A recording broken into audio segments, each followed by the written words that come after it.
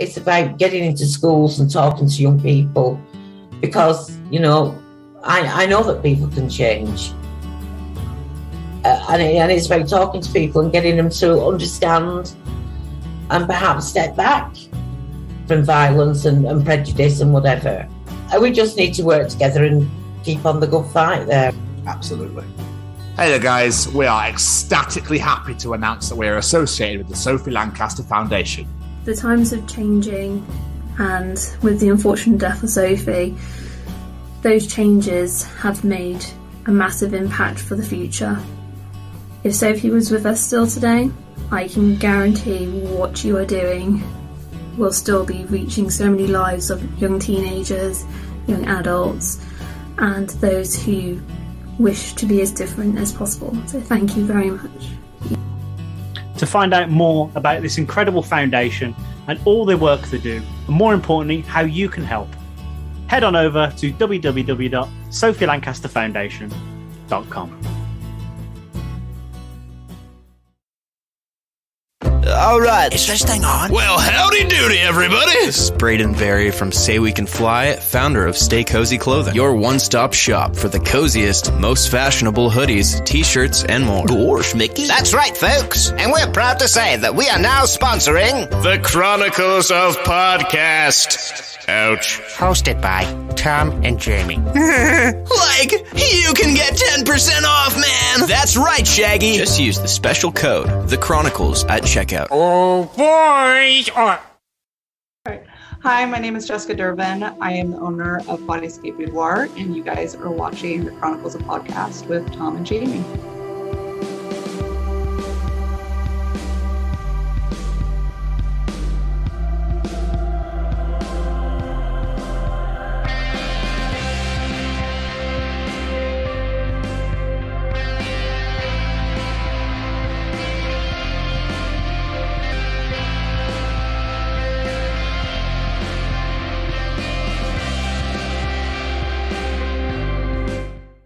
Well, make sure you vacuum the house with my ass, boys. Oh. Welcome to hashtag WBW Way Back Wednesday.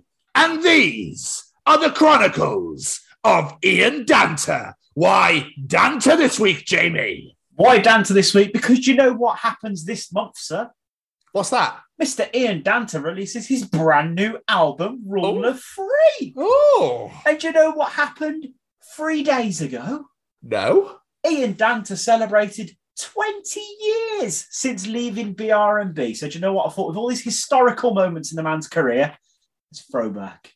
The uh, the LBR&B uh, music, the songs they used to make are so funny. And if people haven't listened to them, they are on Spotify. Just go and check them out because they are absolute genius. The Ian Danter's Barmy Old podcast, we talk all about it in this show. I don't That was to it. anymore. Yeah. It's fucking incredible. I listened to a good chunk of them well, I just after doing this interview, and my god, they are hilarious. Like some of the stuff they do. I'm not going to give it away because they talk about it in this interview. So you just need to go and check it out. Yeah, absolutely. But yeah, huge congratulations to Ian, obviously, for releasing his brand new album this month, um, which obviously Rule of Three. So uh, massive congratulations. You need to go check out his music as well. Um, he's got a couple of albums available on Spotify. But the man is also a football commentator for Talksport. Um, and I believe is the season's just finished. So obviously, uh, there's quite a lot of incredible stories, especially about a certain trip to Millwall Yes, yes, there is. which is probably one of the funniest stories I think we've ever had on this show. What I love about this interview is because obviously Ian is a rock musician. He used to be a drummer in a Kiss tribute band, which anyone knows me. I'm a little bit of a lover of Kiss. So I'm well away. And then the football side of it, you and him were talking for ages about that. And I was just like, this is like the perfect guest for us. It's Yeah. great. Yeah, obviously there are some real serious points in there as well. Obviously, we talk about racism in football and whatnot because obviously that's still a thing for some weird ass reason. Uh, but yeah, we do have a lot of fun with it. It's great. It's Ian's just a really great guest. Have so much fun talking to him. Obviously, you, him, and the kiss side of things. So I sat there happily went, yeah, I'll just smile and wave, boys, smile and wave. And then you two talk about football, and I smile and wave. So it's exactly it's it's a it's an interview for everyone to enjoy. This is actually as well the final uh, ep- episode, final interview from our Chronicles days. Um, so you're about to get some even further waybacks uh, after this week. So I think, uh, Jamie, there's only one thing to, to really say about this now, to be honest with you. I think there is, sir. Uh, Jamie, Yes. any of those final words at all? Just a massive thank you to Mr. Ian Danter. Well done on so many amazing things. I can't wait to hear your new album. This is so much fun. Go check out Mr. Danter on Talksport. Go check him out on Planet Ra- Planet Rock Radio. You're going to find the man everywhere because he's a busy, busy boy, including on tour with Leather and Lace, his tribute act band as well. So he's everywhere. Go follow him. And he's also on the old social medias at Talk Dance. So make sure you go and follow him on there as well. Ladies and gentlemen, these are the Chronicles of Ian Danter. I am coming to your house to steal that background, sir. No, you can't have it. No, I want it. That was painted for me by a, by a, an old friend of mine. That is amazing. Yeah, it's just sort of uh, likenesses of all six Oh, makeup designs. I, I, I always think that Eric Carr makeup doesn't get enough love. No, it doesn't. Anyway. Well, nor does the Vinnie Vincent one really, but there- but that's because Vinnie was a bit of a knob. Pretty much, yeah. really. Not a Kiss fan, so I have no idea what's going on. I going was on. going to say, right Tom has no idea what's going on right now. Yeah, probably best that you do. Probably best that you don't know Tom. In fairness. Yeah, that's fair enough. Reason to Live, I think, is the only song I've ever. Oh, no, obviously, I've heard all the classics. Yeah, but- okay, well that's no, okay. Eighties Kiss. Okay. Yeah. So, and uh, is it I Want to Rock and Roll All Night? Is that another one? Yeah, yeah. Well, that's Yeah. the, the rock and roll national anthem. Yes, it Two for is. two. yeah. I, I might just stay there. I don't, I don't want to get too carried away. Yeah, that's, I'd, I'd leave it at that. I was, I was impressed you knew Reason to Live, to be fair. Thank you. Yeah. Anyway, how are you, Ian? Yes, I'm grand. Thank you. Yes, very good. Very good. You guys okay? Yeah, we're good. Um, I'm, I'm full of cold, so if I start coughing, just ignore me. It's fine. It's fine. You can't catch it over the internet. I was fully expected to be like, it's not COVID. Because that seems to be everyone's go to these days. Yeah, it does, to be fair. Wonderful. Thank you so much for doing this, by the way. It means the absolute world. Uh, what we normally do is I do a little intro and then we just throw questions at you. Anything you wanted to ask? Anything before we get started? Or No, we um. Um, nothing's off limits. Whatever you want to talk about, it's fine by me. Be beautiful. Dear listeners, today's guest is one of those beautiful surprises you find when you stumble across, and boy, am I glad I did. I had an idea to talk to someone in a tribute band, so decided to go about finding one, and in doing so, I found today's guest. Today's guest has not only been in tribute bands, he's a musician, obviously, releasing two solo albums, he's a radio host, a passionate football fan, and most importantly, like myself, he's a brummie. For our American listeners, that's someone from Birmingham. Joining us today is the incredibly talented Barmy Brummie himself. It's Mr. Ian Danter. Hello, hello. Thank you, Tom. Thank you, Jamie. No, pleasure. It's an absolute pleasure to have you here, sir. Especially when I was going through your resume, I was like, ah, no, this should be a great conversation. Yeah, not all of it stands up in court, you know.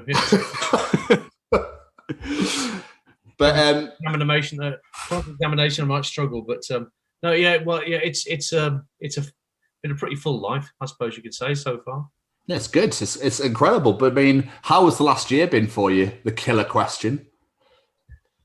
Well, when lockdown first hit uh, in March, um, obviously everything completely shut down from my work point of view um, because sport shut down. And I'm, at the moment, my main role is a football commentator.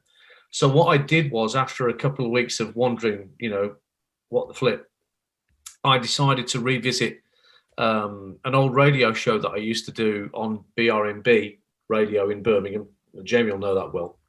Um, I had a show called The Barmy Brummies, which was a drive time show, which was all sketches and parody songs, uh, characters, things like that, utilizing my voices and my musical talents. And basically, just above me here, I've got all the mini discs with every sketch and parody song I ever came up with.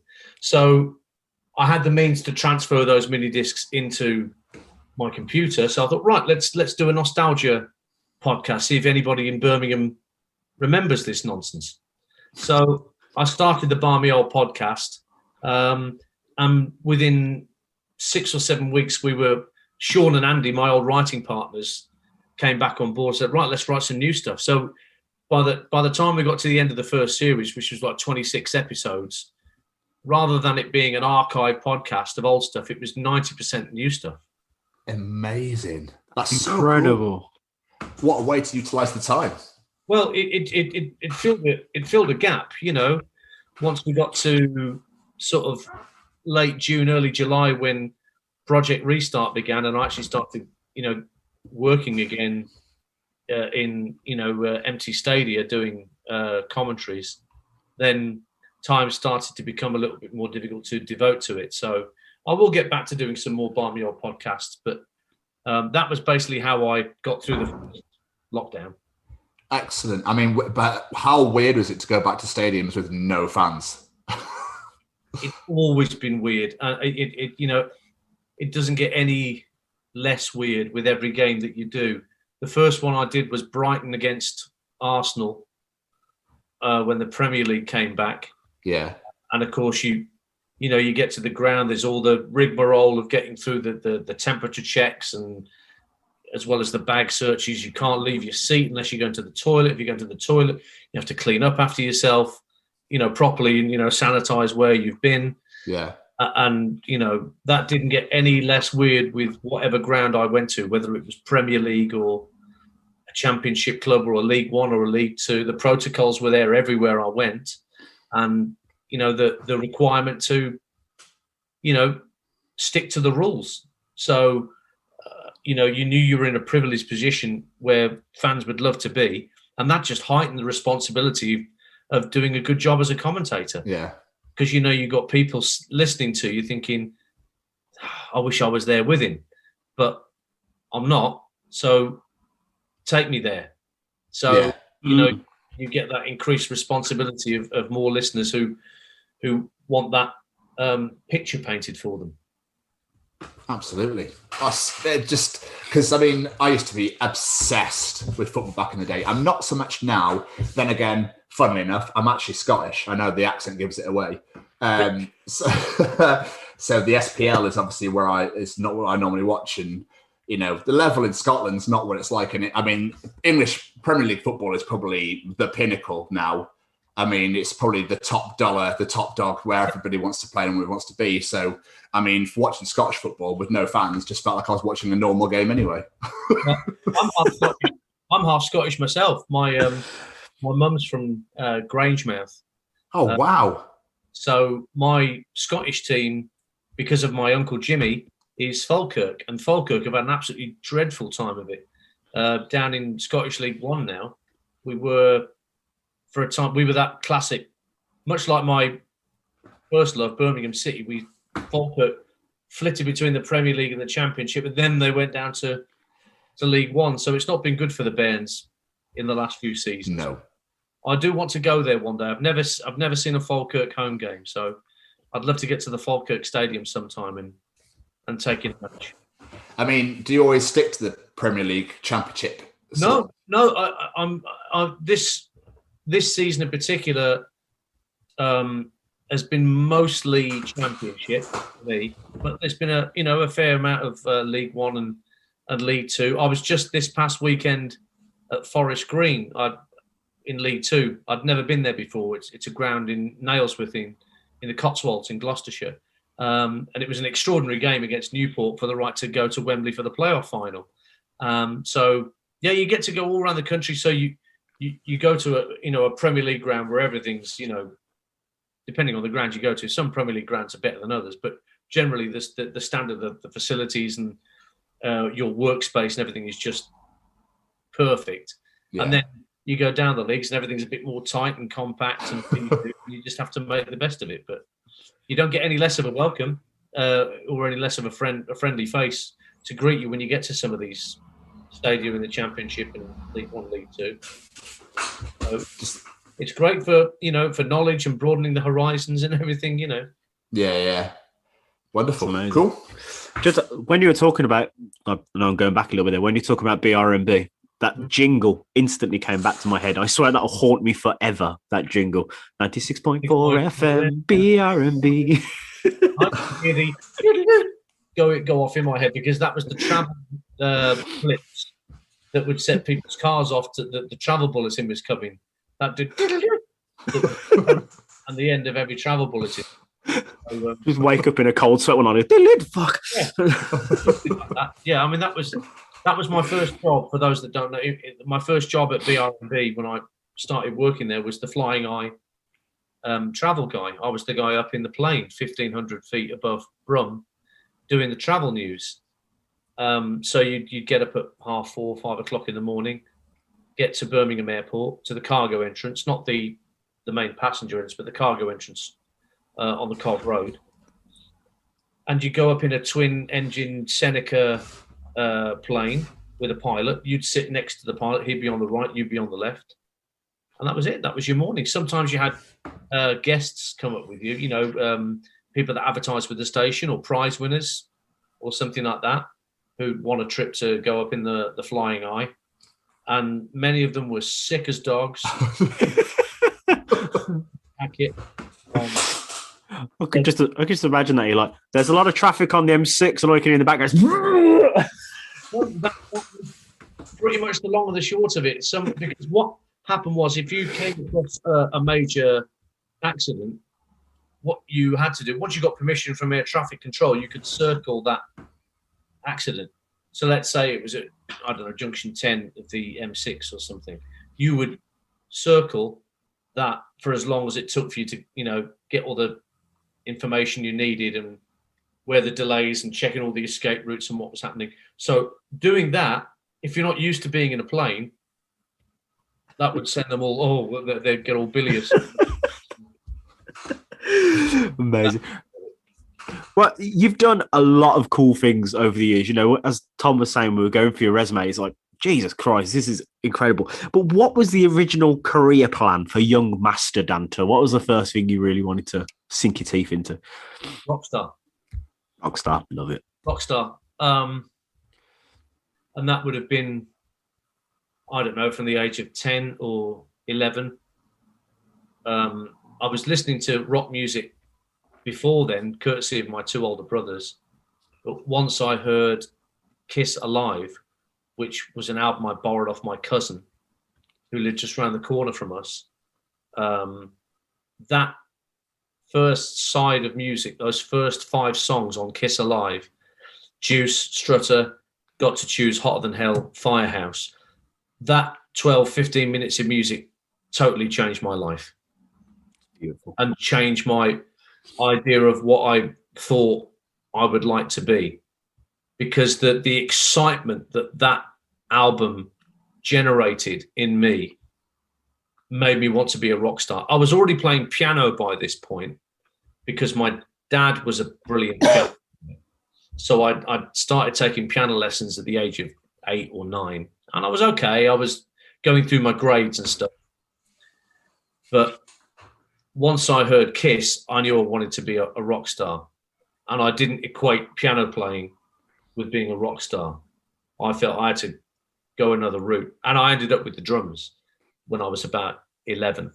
Um, I didn't get a proper kit until I was fourteen, so it was a bit of a wait to get the the proper drum kit. But yeah, uh, that's all it ever was, Jamie. From the age of ten or eleven, I had delusions of, of grandeur, and that persisted probably for the next twenty years. That's amazing. You, you're absolutely right though about that first side of Kiss Alive. It's a lot of the diehard Kiss fans say that though, because a lot that was how they discovered Kiss. Because those first three albums weren't the biggest of sellers, were they? So No, and, and it, it was released over here. Kiss Alive was because it belonged to my cousin, right, Don, who you know he had one or two Kiss albums in his collection. I'd just gone round to his house because my brothers, who had Thin Lizzy and Deep Purple and Rainbow albums, which were great as well, I loved them, but they didn't like their horrible little brother listening to the same music they were. So they sod off and go and find something you like. So I'd gone round to my cousin's house to see what he had in his collection, what I could borrow. And Kiss Alive was one of the first things I I stumbled across. So it just so happened it was Kiss. It could have been another band that I spotted just flicking through, but you know, um, it just happened it was that great cover. But I would urge any, anybody who likes rock music just to try that first side of Kiss Alive because I was so in love with it at the time. I didn't play sides two, three, and four for weeks from absolute sheer terror that the rest of the album wasn't going to be as good as those first five songs. I was just playing side one, side one, side one all the time. And eventually I plucked up the courage to flip the first disc over to side two and play Nothing to Lose and, you know, Come On and Love Me, Parasite and She. In a way, you know, I thought, oh, this is brilliant too. And then you listen to side three and there's the drum solo on 100,000 Years and Paul Stanley interacting with the crowd in 1975 and getting people to stand up at a gig. People didn't stand up at gigs in those days, but he's making them stand up. I think, this is nuts. Is that what happened at rock concerts in America? Uh, uh, so, yeah, I was completely sold on Kiss by that point, and I spent the next year or two or three just amassing whatever Kiss release I could get my hands on. By that time, um, it would have been sort of 79, 78, 79. So I managed to get everything up to Dynasty and um, Unmasked, which was the 1980 album. Yeah. The first album I actually remember buying brand new when I knew that the, the record was out and it had a release date, ended up being the concept album that they did. Music Oh, the elder. yeah, which was a it for those well, you would know this, Tom, but it, it was the first Kiss album that didn't have Kiss on the cover. It was just a, a hand reaching up to a, a, a- a door knocker on a big wooden door. It's meant to be a big concept piece that Kiss decided they needed to do to please the critics. Um, so that was the first album I bought on the day of its release, and that was a tester. You know, Yeah, I was going to say it's not the best start, is it? like a 13 year old kid who's you know listened to rock and roll all night and Detroit Rock City, and you're suddenly being presented with orchestras and I'm just a boy. Yeah, yeah. Paul Stanley singing falsetto. This is this is a tough gig, but yeah, you know, I, I stuck with him. So yeah, going back to your original point, yeah, it was just all about wanting to be a rock star. So playing the drums came out of that desire to, you know, follow that path and that delusion, if you will. That's amazing. I mean, I wouldn't call it a delusion as such because when I was growing up, I wanted to be a musician as well. But I mean, I came into music. My dad introduced me to like Nirvana, Nine Inch Nails, like Metallica, that sort of era. Mhm. Um, and that's what I grew up on. And I always wanted to be a rock star too. Um, I tried my hand at bass and at singing, not very well. you know, it, it, it was what it was at the end of the day. Uh, I had a bit of a laugh. So Well, you know, you, you you find your path in the end. I mean, I found a like-minded soul at school in uh, Andy, who was pretty much the only other person in the whole West Midlands who'd heard of Kiss in my age group. Never mind liked them, um, but it just so happened he loved them as much as I did, uh, and he was a bass player. So um, we decided we were going to form a band before we left school and eventually we found a guitar player, uh, Keith Laurent, who's still my best mate to this day, um, in the mid '80s, and we started a band, a three-piece, um, and we were ambitious right from the off. We, Andy was designing stage sets, you know, that we would soon be playing on, you know, with we called ourselves Minotaur, and we had this idea that uh, the drums would be set up on on the, Minotaur would be the back of the stage, and the drums would be set up on the fists of the Minotaur. And It's it- amazing. And they would levitate. You know, absolutely po-faced balls. But we wrote original songs. We didn't just do covers. We, we thought, you know, we're going to write original songs straight away. But of course, you know, we're, we're, we're, we're just kids. So, um, and we'd never had a singer in the three years that we were together, just drums, guitar, and bass. I ended up having to do all the, the singing, which isn't a good look on stage, really. We never had a front man to um, to make us look good. But that was the start of it, you know, the start of writing songs and having that desire to get better as a musician and a songwriter, kind of all in one, really. it must be so difficult to sing and drum at the same time. I had to learn again. It was kind of like the pat head rub stomach thing. Oh, At the time, my drumming was, you know, so-so because I'd only really been playing with, with the kit for two years or so. I wasn't a virtuoso by any stretch. Um, but yeah, I had to. Basically, what I had to do was I had to um, get my personal stereo, my Scishow personal cassette stereo thing from Dixon's, whatever it is I'd got for Christmas. I had to sellotape it to my head so That's not where I thought that story was going. so the headphones wouldn't fall off because I'd be drumming along to the Kiss album, Lick It Up, and singing along to it whilst I was trying to master the technique of singing and drumming at the same time. I got there in the end, and it's been very useful to me down the years. Um, but maybe if I hadn't bothered, then we might have found a decent frontman and things might have been different. That's a fantastic way to learn, though. I love that. I took the coving off the, you know, you, you got that sort of coving on top of your walls. Oh yeah.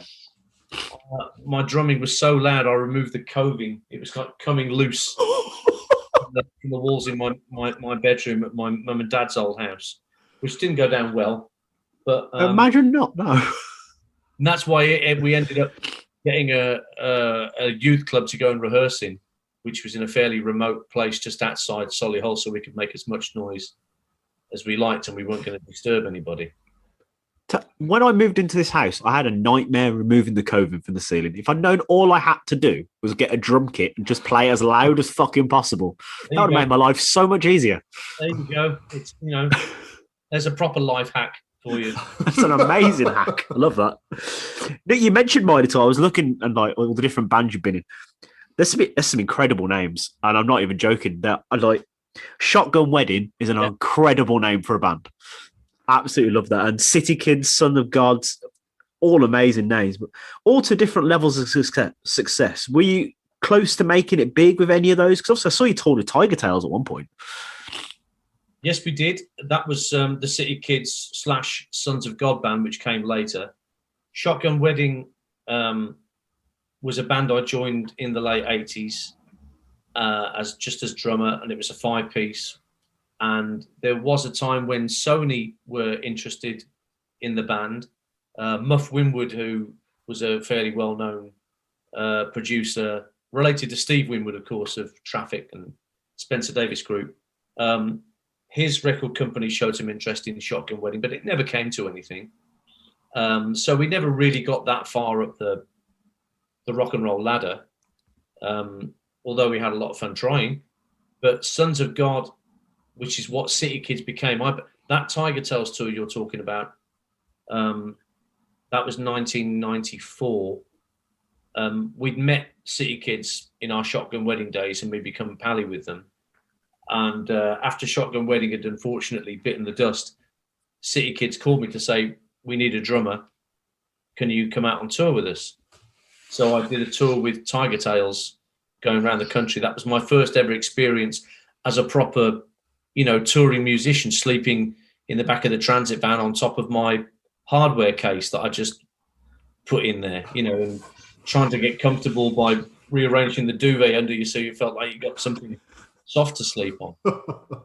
Uh, so, and that band got signed to a, a, a local independent label, but again, things never really, um, never really progressed. We never got that much um, recognition. But that wasn't for me. wasn't a really good band with really good songs. Um, and I was a good. I felt I was a good songwriter by that point, and I felt well. I've got I've got some work to do with these because I thought they were even better songwriters than I was. So that raised my game in a sense. Have you still got any like old demos or anything like that from these bands? Oh yeah, yeah. I mean, you know, um, Sons of God actually released an album, a posthumous album, years and years after the fact. It was called "We Were Never Really Here." Um, probably struggled to find it. It went on Amazon, I think, but it was just like most most of our demos and stuff that we'd done um, over time. Shotgun Wedding never released anything um, officially, but yes, if you might find a copy of Sons of God, we were never really here somewhere, floating about in the ether. I've tried to track that down. I mean, you did a lot of. Uh, I mean, you know, you, I know you didn't well, quite make it how you wanted to, but obviously you had your own bands and you played a lot of tribute bands as well. But just playing music generally, I imagine, was probably just the most amazing feeling ever. Playing in front of people, you know, Oh, regardless. Yeah, I mean, you know, when you're playing original music, then that's, of course, the most worthwhile thing because that's something that you've created from Yeah. from scratch. Um, and of course, when that doesn't work out for you, uh, and you end up playing in covers bands or tribute bands, as I did, then you derive a, a different kind of satisfaction from playing. It then becomes about the accuracy Mm. of recreating what people want to see. So, the first tribute band I played with was a Bon Jovi tribute in Birmingham called New Jersey, um, featuring a couple of former members of Shotgun Wedding, uh, who were obviously still mates of mine. And yeah, it, you know, everyone was looking at the John and the Richie, right? No one knew what the bass player, keyboard player, or drummer looked like. My job was to play those parts accurately, you know, because if the drummer's not playing the parts right in a tribute band, you know, the right fills, the right accents, chances are the bass player's not going to do it either. And then the guitar player, and then, you know, keyboard player. It's not it, it- the responsibility on the drummer is paramount to, you know, keep everybody else in line. Mm. So you learn that pretty quickly when you get into tribute bands because people notice when you're doing it the way they want to hear it. They appreciate it and they tell you so. And they also tell you when they don't think you Because Bon Jovi's got a lot of bangers. they've got a load of bangers. We, we, I mean, it, of course, it didn't hurt uh, as a as a single man at that time that there were a lot of um, ladies that came to watch uh, Bon Jovi tributes. Um, so I must admit that didn't hurt. We did a gig in in this in Norfolk once, and um, one of the big songs of the night was always, you know, the ballad. Oh yeah, I love that song so much. and um, we were playing that, and there were two girls right at the front by the stage who were on uh, the guitarist side, uh, Dave, who was the Richie Sambora or Itchy Sombrero, as we probably called him. Itchy sombrero. And as he goes into the guitar solo, do do do do, do, you know that, that's a very heartfelt. And these two girls start start bawling their eyes out. Absolute, just because he's. I mean, we were joking. Oh, you you must have cocked it up, Dave. But no,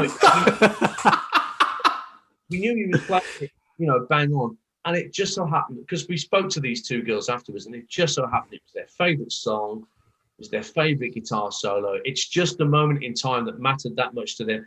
And so they just started blarting whilst we're playing that song, which, as you're sat behind the drum kit looking across at them, is a little disconcerting, I must tell you.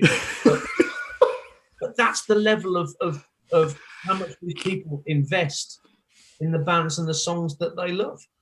And that's why you've got to get it right.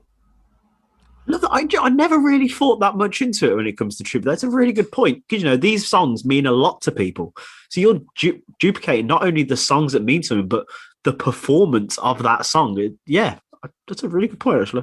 when you get onto the, the Kiss thing, um, you know, I started a Kiss tribute in 2003, but then was asked to join Dress to Kill, the longest running Kiss tribute in the world, a couple of years later, and I jumped at that chance Mm. uh, because they were, you know, one of the biggest tribute acts in the country.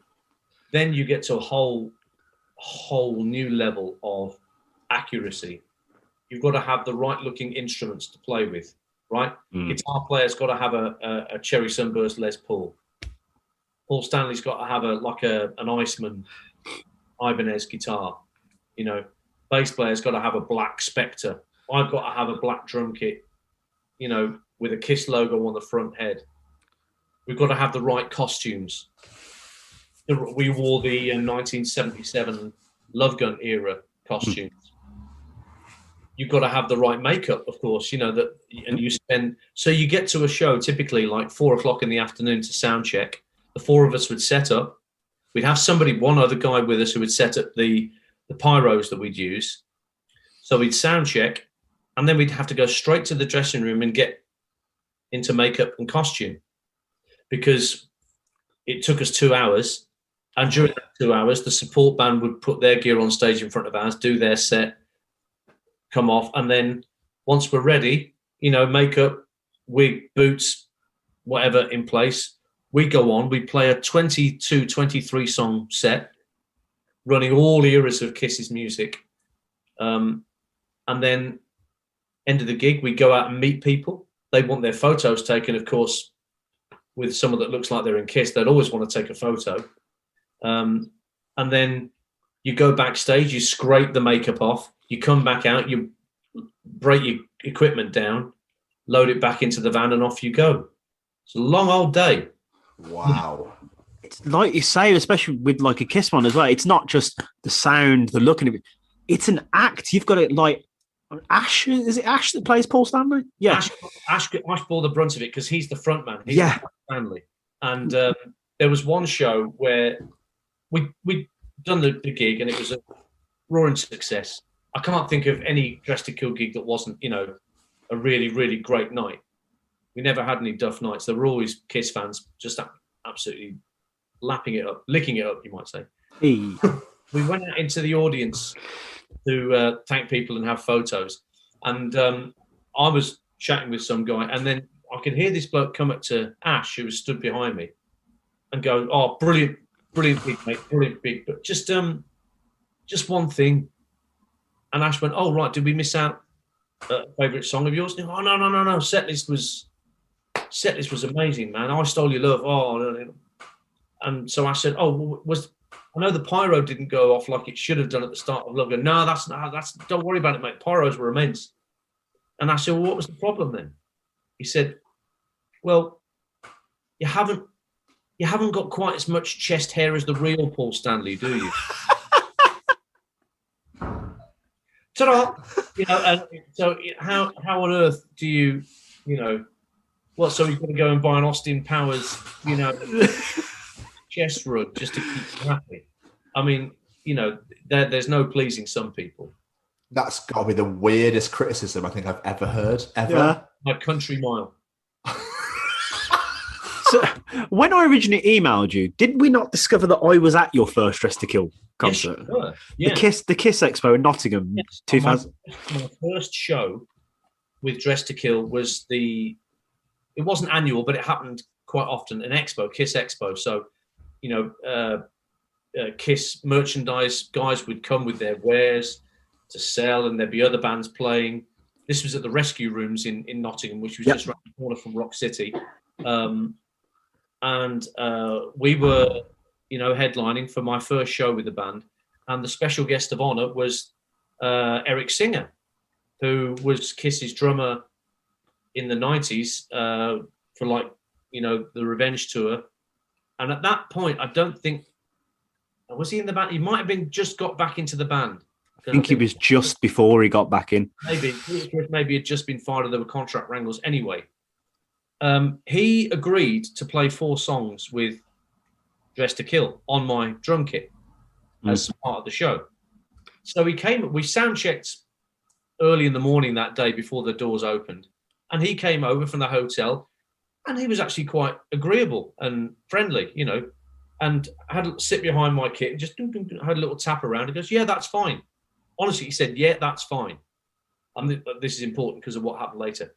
He then uh, he was then once the doors opened and people were letting, he came back and he was in in a room where people were coming in to have things signed, and evidently that took a long time. And uh, when it came to the point in the show where he was coming on to play his four songs, don't think he was in the best of moods. Ooh.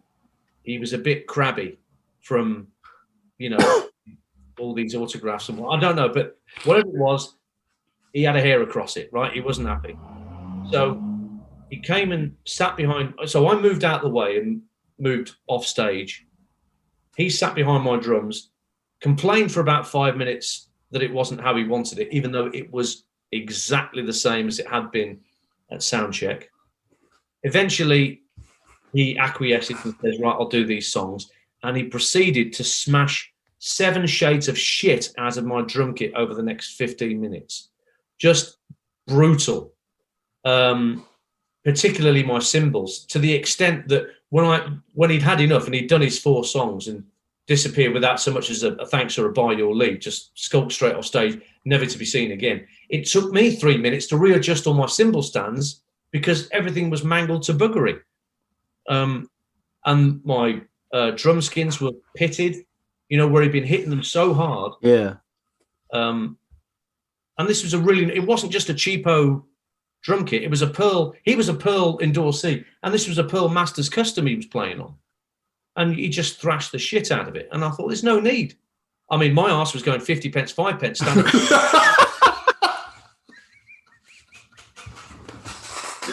That's a saying. I like that. discover the true colour of it something like that's happening.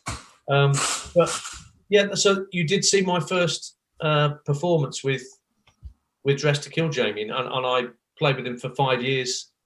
After that, not just around the UK, but we played places in Europe too, Norway and um, Spain. We even did some gigs on the Orkney Islands. We even took a ferry right from It's amazing. from uh, the North uh, Thurso, took a ferry up to um, Kirkwall, I think it was, um, it on the Orkney Islands to play a show up there. Such was the demand for us. That means then I have your first ever show on DVD. Ah, now wait a minute. Is that the one with Bruce Kulick? No, this is the Eric Singer one. Oh, that's it then. That's Yeah. the one. That is my first show. So I'm pretty sure I'm trying. I think we played the Oath that night. I'd, I'd, I'd have to check the track listing, but I'm pretty sure we played some rare. You did. You played it second. It's got the track listing on the back. There you go. So we played things like the Oath, and uh, when you played an expo with Dress to Kill, you really had to dig out loads of rarities. When you played at a standard show, you uh, Gary, our bass player, used to talk about the Dirty Dozen, the twelve songs you kind of have to play. yeah. His tribute band, like Rock and Roll All Night, like Detroit Rock City, uh, like um, oh Cold Gin, things like that. But then when you look at that that track listing you've got there, Jamie, from that uh, expo, you'll find at least half of those are unusual. Yeah, like Parasites on there. Like they very rarely ever play that now. Well, that's the what's one of the ones that Eric played, Parasite. Um, things like Escape from the Island, I think we played an instrumental off the Elder, just some bizarre stuff we played that night. But the diehards loved it. It was great. I, I absolutely loved it. I, I had a T-shirt, but I think all the, the things that were on it fell off over the years, so it ended up. but yeah. Oil wash, they see that's always a always a risk. But you actually beautifully went into my next question then, really, because I've often wondered with tribute bands, like, how do you decide what songs you're going to play? Is the is it like let's just play the hits, or is it a case of I like this one, let's do this one? What would happen is Gary, uh, the bass player, was in charge really of the, the the set list because what he what he had, he had an inventory of the set list we played at certain venues every time we'd been there. So let's take let's a venue um, like the Walthamstow Royal Standard in London that we used to play regularly. He had every set list that we'd done there down the years. So he knew what we should stick in there so as to avoid repetition. So if we were going to play something unusual, it wasn't going to be the same unusual song two shows in a row. So if we played, oh, I don't know, put something out of it. Like if we played Danger of Creatures of the Night there, we wouldn't play it again there the next time. We'd pick something like, you know, something off Crazy Nights or something interesting. So as I mentioned, there was those 12 or 13 songs that you always put in, but it's what you mixed it up with that made it interesting. So what a couple of weeks before each run of shows we did, Gary would send the set list through to us all. And of course we we tease him and send him replies, oh, we're not playing that, are we? because we didn't mean it. Um, because we knew that he was diligent enough to know what uh, worked last time, and you know he he learned how to balance a set really well, in my opinion, so that it made it easy for me. And of course, these were all songs that because we're all Kiss nerds, the four of us, we knew them, you know, backwards and you know, always to Sunday. So we didn't rehearse very often as a band, probably once a year. if we were working on something that was particularly obscure, the rehearsals came at sound check. Really, right? Are we doing? Um, I've had enough. Yeah, okay. We, you know, there was one show where we. So I went into the um, intro to "I've Had Enough" of Animalize. They all joined in. We played the song straight through, without any mistakes. And Gary said, "Right, let's drop War Machine. Let's put that in instead." So we played. Uh, that was the, the Diamond in Sutton in Ashfield. So just by pissing about at, at sound check, we added another song to the set. That, That's amazing. That was really good, you know. That is amazing, especially because Animalize as well. That's that's not a slow album. That is a, those songs are a challenge. Kiss were playing much quicker, their live shows, I think they wanted more energy. They they told Eric Carr to play with more tempo uh, during the 80s. They they calmed it down once they got to the late 80s, early 90s. But yeah, so a song like I've Had Enough was a, well, it's a challenge in itself, but in the midst of a, another 22, 23 songs that you're playing, these were pretty punishing shows. Remember, I've got makeup on uh, and, you know, lights everywhere. Uh, I'm not a professional drummer. I'm semi-professional, you know. So it, it took took its toll if you weren't at least relatively fit and ready for it. Did you ever plug, so take your headphones back on and do backing vocals or anything like that at all? I had to go out front and sing Beth, which was the big Peter Criss mm. ballad from Kiss. So I actually wrote. Uh, it was a song with uh, you won't know this, uh, right, Tom? But there was a it was a song with orchestras on it, and it, it was a very heartfelt love song that Peter Criss had on Destroyer, which was a big album for Kiss. So he he used to, Peter Criss used to sing it to a backing tape with the real band every night. So I did it as well. So I, I wrote the backing track, composed it at home, um, and I sang to that pretty much every show. Came out from behind the drums, threw roses out into the crowd like Peter Criss used oh. to.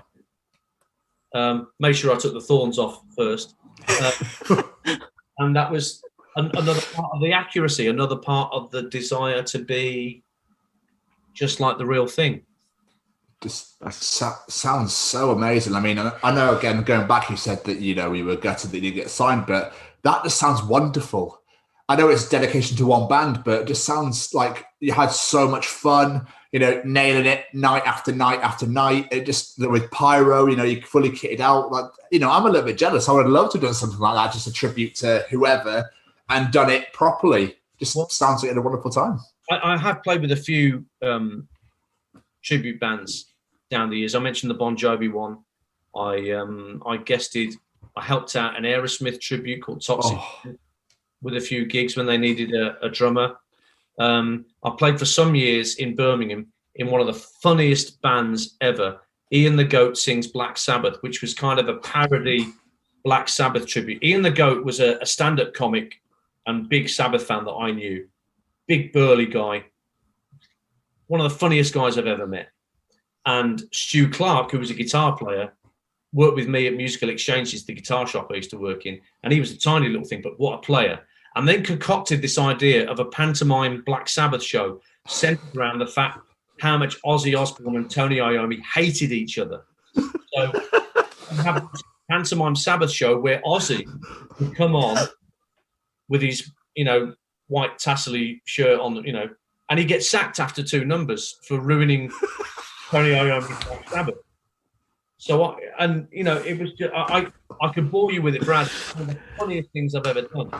Um, you know, but the dress to kill thing, obviously, given my love of, of the band, the love, my love of Kiss, that was particularly important to me to get the accuracy right. To me, you know, never mind the audience mm. to be accurate.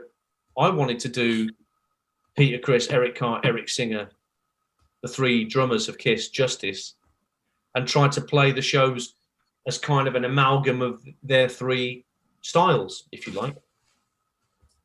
Before we move on for this, do you still have the costume? Yeah, it's in the loft. Uh, it's been washed just in case. Um, it is there, um, ready in case um, anything was ever thrown my way. Because Dress to Kill is still going. They are still mm. longest running Kiss tribute in the world. Uh, but most of them are based up in the northwest now. But um, oh yeah, if the call ever came, I'd uh, I'd put the old clown white back on again, no problem. That's amazing. so we need to talk about your radio work. So it was around the time of Son of God that you got into radio, wasn't it? Sons of God had just kind of fizzled out. So how did that come about then getting into radio? That was all about um, my friend Keith Laurent, who I mentioned earlier, who was in my first band with me. He'd written a letter to the uh, head of sport at BRMB saying, My mate Ian does the best Trevor Francis impression you've ever heard. You should get him on the radio. and Tom Ross, who was the head of BRMB Sport, read this letter and thought there was something in it. So he rang me at the guitar shop I worked at and asked me to write a sketch for the Saturday afternoon football show that they did, you know, prior to a live commentary of either Aston Villa or Birmingham City or West Bromwich Albion, whoever it may be. And so I did that for a few months. And to cut a long story short, that was a few months later was when I got offered the chance to do that flying eye job that I mentioned before Mm. in the plane. And from that, what grew out of that was a chance to do on-air shifts as a presenter on the the AM station, Xtra AM as it was known, but um, it, became known as Capital Gold.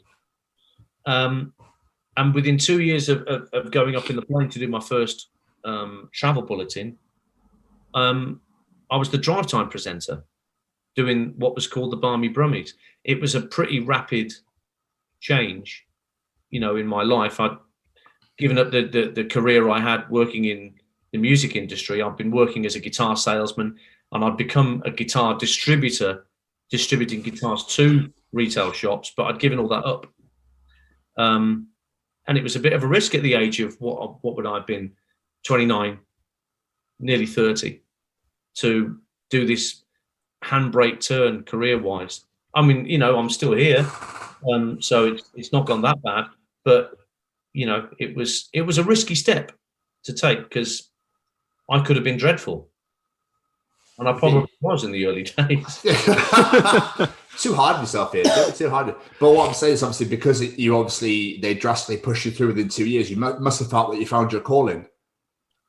I think the confidence grew within me once, funnily enough, once I was put on overnights, because I've been doing the, the, the, the travel stuff, you know, Monday to Friday. And um, I tried a few cover shifts here and there. And the boss said, I need to hear more of your comedy, more of your voices. You're not doing enough. And he was right, you know. So he said, I'm putting you on Saturday into Sunday overnights, midnight till six. Carte blanche, do what you want. Bring in who you want. Just make it funny. So I contacted at that point my friend Steve Beebee, who to this day is still a writer on Kerrang magazine. Uh, and I'd got to know him in the Shotgun Wedding days, and he'd become a really good friend. And he came on board with me um, and was my sidekick. Uh, and we started doing stuff during the night. And we used to have these things called um, Snoop sessions, where, and these were the bane of radio presenters' existence. You would take a cassette, take it into the, the studio where you were doing your program, you'd put the cassette into the machine that was there, and you'd switch it on to record and pause, right? So it's on like on standby. Yeah. Every time you open the mic fader to say something, the cassette would go to record and play. When you'd finished and you pull the mic fader down, the cassette would spool around for a couple of seconds and then go back to record and pause, meaning it would record every link that you did in that show and would cut out all the music. You could then give that to your program controller and he would listen to that either the next day or the day after and he would more than likely get you into the office to critique you on it. And these were brutal things, Snoop sessions, you know, because you'd sit there and you'd hear the first link and you think, well, that's okay. And he'd stop the tape and go, what was, what'd you do that for? Uh, um, what do you mean? So, and, and, you know, that, that it was all about trying to make you the best person you could be. But as I say, it was tough love. But through that overnight show, my confidence, as you mentioned about, you know, confidence, my confidence grew about doing comedy and and and you know just generally being on the radio and doing the things you're meant to do, housekeeping and and you know making it sound slick and and well produced and tight. And that's why the drive time thing came along because I learned pretty quickly what worked and what didn't for me, and it seemed to hit home with the the audience. And next thing you know, I'm doing drive time. It's amazing. Does that mean that you found out that you could do the voices that you could do the impressions during the overnights? Oh, no, I knew I could do them. It was just finding a context in which they worked. You know, um, finding situations in which you could make a Billy Connolly or a Trevor Francis or a, a William Hague work in in a you know what sort of situation? How do you set these things up? And it was also important. You learned about word economy actually in those days more than anything else about. There's the great saying of Joe Perry and Aerosmith about songwriting. He said, "Don't bore us, get to the chorus." I like that. Nice. When, when ah. it comes to sketch writing and you know comedy stuff, that kind of also applies. The idea of get to the punchline and then get out. Don't out. Don't let a joke outstay its welcome or a situation Hmm. outstay its welcome. So you learned very early on the idea of keeping sketches reasonably short so that they had more effect that way. That was just all part of the confidence growing within me uh, and Steve too. But when the Barmy Brummies came along, Steve didn't fancy a career in radio, working five days a week. He went back to his writing and his uh, journalisting thing. So the Barmy Brummies was a different group. Me and two brilliant stand-up comics and writers, uh, Sean and Andy, and um, they were amazing. And they they were the Barmy Brummies team for those two years that we did Drive. But uh, you've like as you just said, you know, you've done various different slots of the day, various different things. But and a lot of hosts, they sort of have their thing, you know, what they're known for. But you've done all sorts, like I say, comedy sketches, commentary. Was this you wanting to try different things, or was this the people at the radio going, Ian, you fucking smashed it, mate. Now let's try this. Well, um, let's see. With BRMB, it was all about the comedy, and, and it was all about, you know, sketches and songs and the characters we created. Um, when it came to, and I did the same on um, Heart FM because I left BRMB eventually, uh, and I did a similar show, a weekly show rather than a daily show on Heart FM in the Midlands around the mid 2000s. But Talksport came along because I was doing football work for BRMB and Capital Gold. They wrote me in as a reporter at first, and then I became a commentator. So I I was developing my football work, my broadcasting as a as a commentator, alongside what I was doing with the Barmy Brummies. So I was working six days a week. So you do five days a week, Barmy Brummies. Saturday I'd go to a game and commentate on it. So you develop that skill set at the same time as you're developing the skill set as a as a drive time presenter, and you know totally different aesthetics required. So um, it was just circumstances really more than anything else. Just okay, what's required here? Um, so adaptability was the name of the game. I had to be as adaptable as possible to, you know, um, to be to be useful to a radio station or useful to a company that they could they could they could put me in different situations. And when it came to talk sport, um, I've been there 17 years, and there's only me and one other guy who've worked and presented at pretty much every time slot around the 24 hour clock in a seven day period. I've done breakfast, mid morning, afternoons, drive, evening shows, late night, overnights, weekend breakfast shows, Saturday afternoon commentary, Saturday evening phone ins, the lot. The only show I haven't done is the fishing show, and that ain't happening. and that I can't blame you for that at all. I'm quite prepared to let that go. But that that's that's why I try to be, you know, versatile and try to make myself as you know handy to various producers and and bosses as I possibly could be. And I must have been doing all right because I kept getting these offers of work right around the right around the schedule, around the clock. which is incredible. But going to the football commentary, right? We all know you're a massive Birmingham City fan. Does it hurt or break you in any way? Shape? I know you can't really reveal that when you have to call Villa, Wolves, West Brom, Walsall, any of those teams at all. I, I actually adopted Walsall as a bit of, I'd have got a bit of a soft spot for them because Walsall were the first team I regularly covered when Tom Ross started drafting me in as a reporter and then a commentator.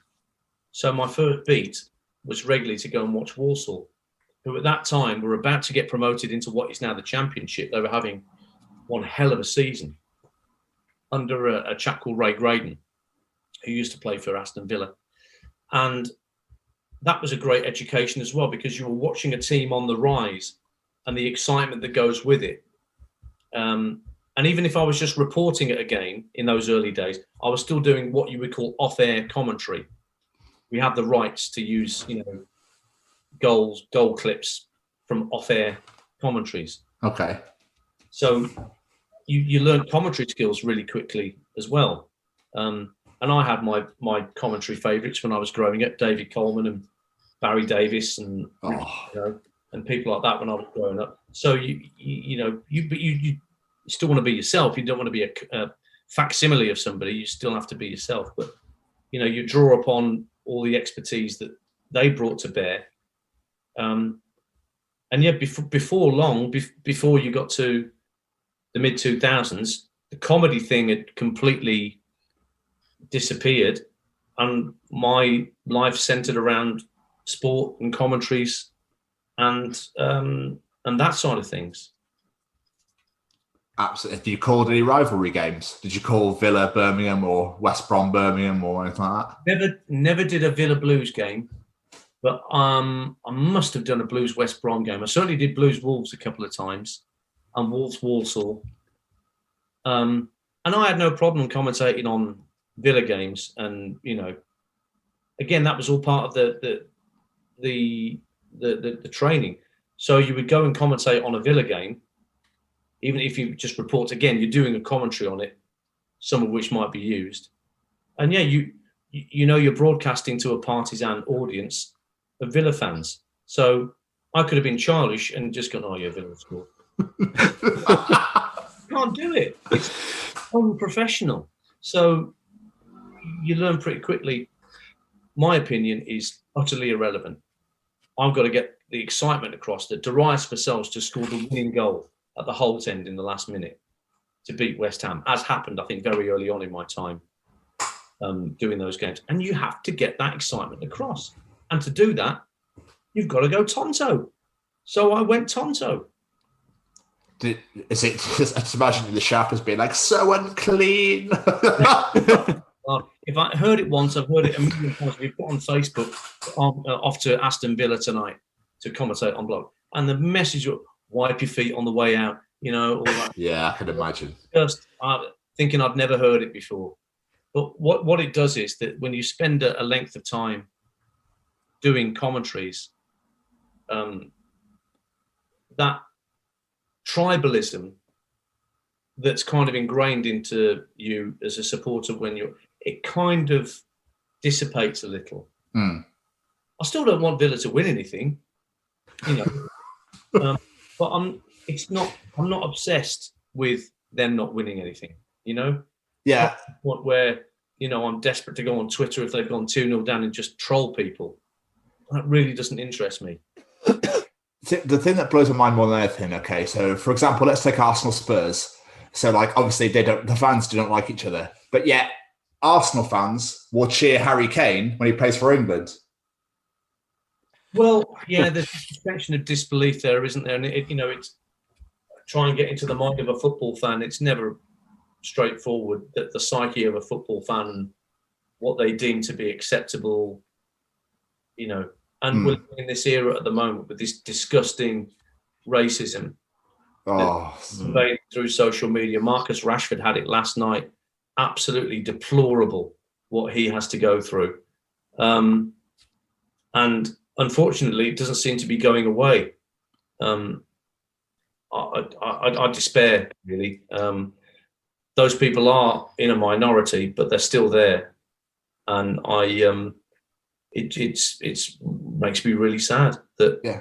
people feel that they have to do that, that it gives them i don't know what it gives them i don't know what inspires them to be as disgusting as they are but they still do it and i will never understand it No, no same. It's when uh, all the Millwall fans booed when they kn- they knelt for BLM and stuff. I remember when that happened. you see, see yeah i mean some clubs tried really hard millwall as a club have tried so hard over the years to work with the community and you know prevent you know the sort of incidents that you're talking about there. And let's be every club's got them Oh yeah, my club's got them my club had that complete lunatic that ran onto the pitch and tried to punch jack grealish yeah. a couple of years ago. Um, and that was sickening behavior. Indefensible. So every club has got them. Um, whether it's one or two, 10 or 20, 300 or 400, you know?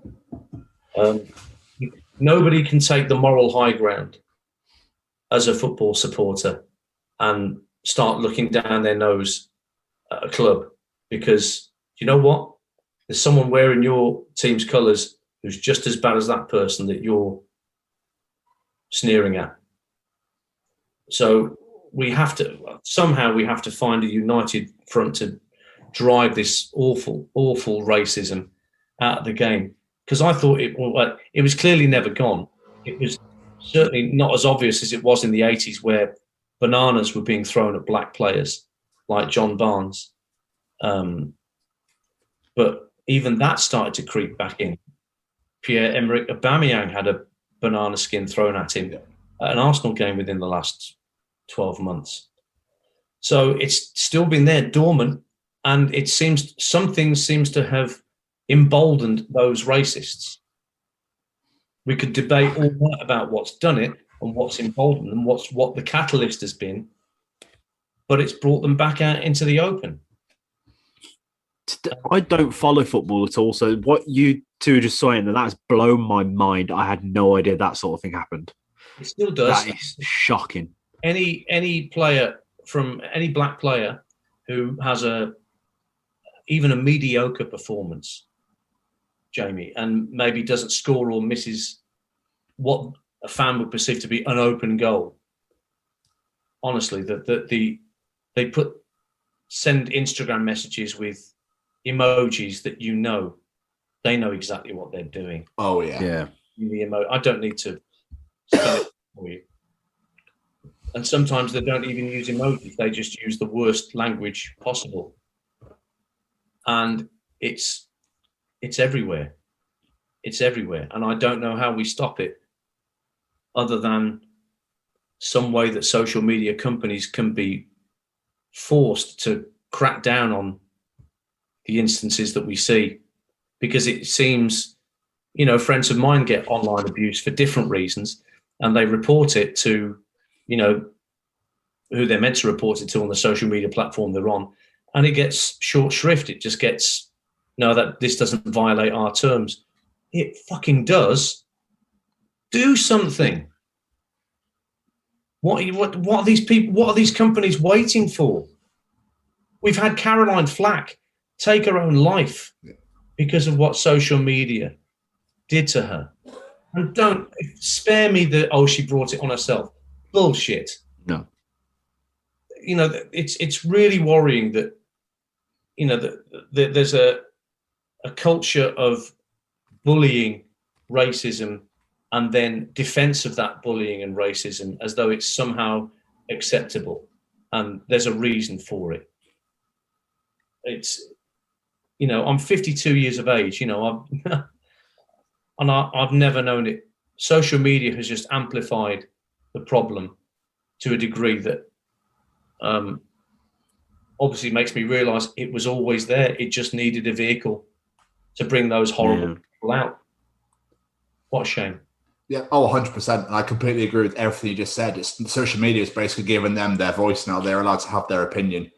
And it's just everywhere, uh, all there for the world to see. And it shouldn't be happening. freedom of speech is one thing. Uh, you know, consequences is quite another. What about the consequences of free speech? Uh, and too many people jump in feet first with their insults, claiming the free speech banner, not thinking for a nanosecond about the consequences of what they're doing. That's the problem. But to bring it back round, my next question was going to be about how you prepare yourself for commentary for a football game. But like you were just saying then, like with fans running on the pitch and like hurling abuse, how do you learn how to deal with that? Do you just ignore it or do you address it? Um, if I'd been commentating that day when Jack Grealish was struck by the Birmingham fan that ran on the pitch, yeah, I'd have mentioned it. Hmm. I'd give, I'd have just, I'd have torn that guy. I'd, you know, get him arrested. You can't ignore things like that. Most of the time at football grounds, yes, there's bad language, and you know, you don't hear. I don't remember hearing racism that much. To lighten the tone slightly, I mean, you know, you, I was at a game once. Um, this is years ago now. Millwall against West Bromwich Albion. It was an Easter Monday, and I can swear on this properly, can't I? Yes, you can. Yes, yeah. Well, I've got to in this instance because the press box at Millwall in the main stand is quite close to where other supporters are. There's just a little wall uh, to the left of where you're sitting, and then beyond that, there's I don't know season ticket holders or regulars, whatever it may be. And um, myself and Tony Brown, Bomber Brown, the Albion's leading goal scorer in history, were doing this Millwall West Brom commentary. So I've got a headset mic on, right? Tony's got his headset mic on, and there's also I've got uh, an effects microphone in another channel to pick up crowd noise. And about ten minutes into the game, all you can hear is this guy. I can't see him, but I can hear him. He's about eight rows back, going, "Oh, don't give it to that fucking cunt! Oh, don't give it that that fucking cunt's useless. Fucking get that cunt off the fucking thing." Shit, because I know my boss is listening to this because it was the only game that day. So I've turned off that effects microphone thing, right? That that should do it. So it's just my headset and Bomber's headset, right? Make a scrap of difference. Oh, you fucking useless useless fucking cunt. Oh, it's all I can hear. So I've had to say, you know, during the it was the first instance, you hear it all the time on Sky Sports now, but I'm going, no, I do apologise if you've heard any um, uh, foul and abusive language. Um, we had another ga- uh, there was another game on that day that I could throw to for a report and be off air for 30 seconds. So there was a Walsall game on. So I thought, right, the game's going on and I'm commentating. I'm thinking in my head, I'm going to have to tell this bloke. I can't, and I'm turning, I'm, I'm concentrating on the game. I'm just going to have to tell him when I get the chance. So at one point, I've gone, right, here's the moment because the ball had gone out of play or somebody was injured. So I could afford to go to the other game and get a report and we wouldn't miss anything. So I've said, okay, let's get across to the Bescot Stadium, get an update on Walsall against Chesterfield, Ian Rivers. So Ian Rivers picks up at Walsall and I whip the headphones off and turn around and go, excuse me, and I look and he's fucking massive. Yeah, of course he is. He's 20 stone. He's a day. He's he's got the love hate tattoo. Uh, bald, shaven. He's got the swallow tattoo on his neck. You know, I mean, just the, the, the worst I could have encountered. But I thought, right, I've got to go through with this. So I've whipped the headphones off. I Excuse me, mate. Um, I'm broadcasting back to an audience back in the Midlands, a family show, and your language has been picked up on our effects microphones. Would you mind? Would you mind moderating your language, please? And what could he have done? He could have walked down six steps and just popped one on my face, couldn't he? Just knocked me out, or you know, stormed off or got a steward got me thrown out. But his response was priceless. His response was, "Oh, sorry, mate. Oh, I really, I, I, am so sorry. I didn't. Look, I really am." Really desperately, desperately, you know, it's, it's not what I'm like, but you know, I'm, I'm really desperately sorry. But he is a fucking cunt, isn't he?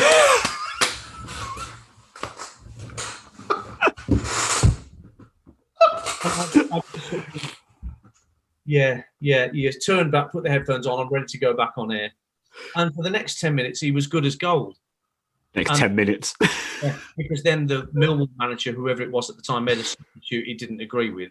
Oh, hmm. don't bring that fucking cunt on. and I just looked at the Bomber and said, couldn't have done any more. And that was that. So, you know, you just have to roll with the punches. But although, thankfully, in this case, it wasn't literally. That's incredible. I love that. That- We, as we were talking earlier about your comedy and stuff like that on radio, uh, I saw reference to a parody song, uh, Des Lynam's Seven Days.